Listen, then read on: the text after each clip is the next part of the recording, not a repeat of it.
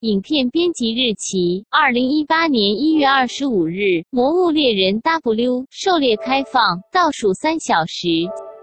先算算花了多少钱？PS 四主机买人家尾牙抽到的，省了一千块。LG 一幕好像是因为风评有问题，所以卖的很便宜，其他都没折扣，原价购入，哭哭。很快速的开箱完毕。这次消费重点在于，我要在电脑荧幕上开一个小视窗玩 PS 四或收看第四台，顺便它最好可以用来录影。贵森森的四九八五刚好可以满足这些需求。只是电脑闲着也是闲着，用软体录影想想也没差。而且它的缺点是一零八零 P 模式下录影设定最高只有 FPS 三十，对我是够用，对眼睛有毛病的高玩可能就不满意。总之，买了就认了。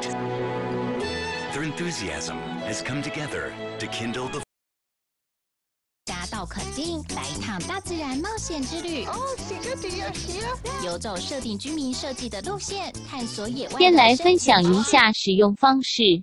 最简化的使用方式是四九八五插主机板上 PS 四的 HDMI 线插四九八五的输入端，这样就好了，其他不管它。然后当当当到官网下载并安装好四九八五的驱动程式后，就可以在电脑上欢乐玩耍。这边要提醒的是，虽然 HDMI 可以热插拔，但插歪插坏或里面本来就是不良品，有非常低。非常低的几率可能会损坏设备。两千万人口里，听说有一两个倒霉鬼，所以怕死就关电源再插。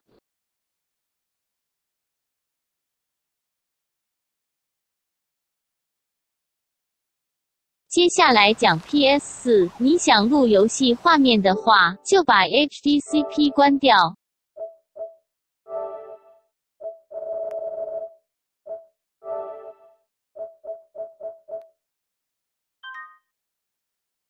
其他功能好像没什么好讲的，网路线插到屁股就能联网。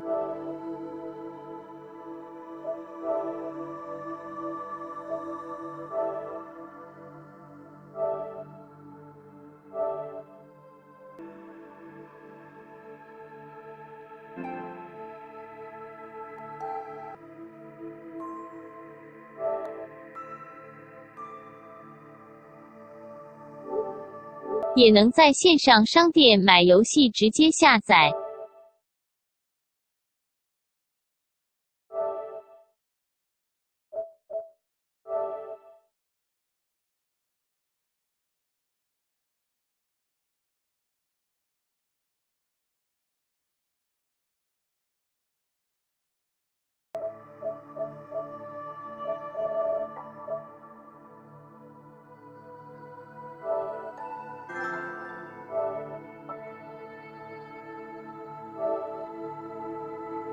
如果想中文输入，就把你家的 USB 键盘插进去试试。输入法设定懒得说明，步骤自己看就懂了。以上，Google 姐姐配音八八一。